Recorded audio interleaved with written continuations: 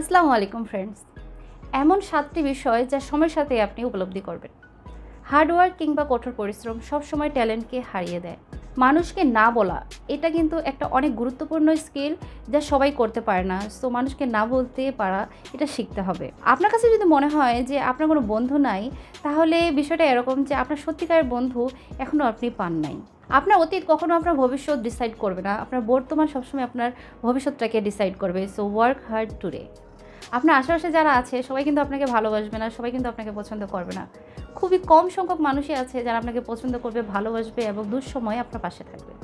যত জলদি আপনি আপনার ভয়কে ওভারকাম করতে পারবেন, সেটাকে জয় করতে পারবেন, তত জলদি আপনি সফলতা অর্জন করবেন। বর্তমানে আপনি কি ডিসিশন নিচ্ছেন, এটা ইম্প্যাক্ট ফেলে আপনার ভবিষ্যতে।